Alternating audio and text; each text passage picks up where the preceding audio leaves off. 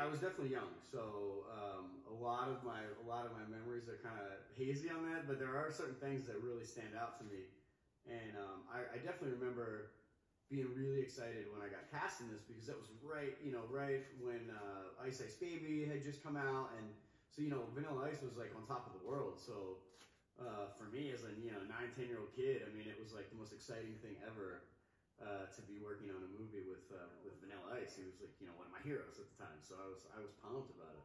I was like, we're gonna be hanging out and playing video games all the time. We're gonna become best friends. Uh, but you know, I mean, that's not what happened. I don't think he was super interested in hanging out with a nine-year-old kid uh, at the time. But uh, but you know, we we had a couple interactions. You know, when we had we had our scenes together. You know, everybody remembers the the scene where I'm riding around with him on the back of the motorcycle, and I and I I, I flipped the bird. I was a nine-year-old kid.